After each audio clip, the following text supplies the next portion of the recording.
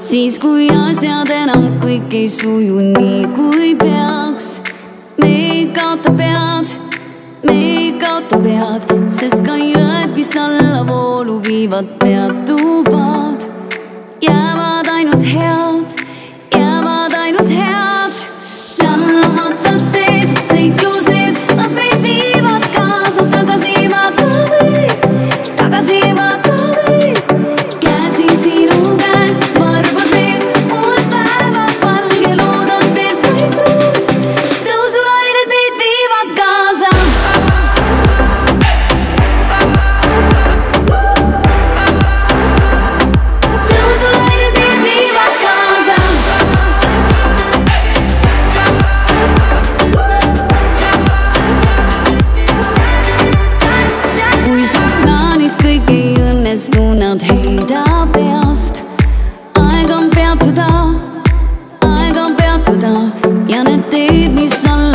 maybe, but they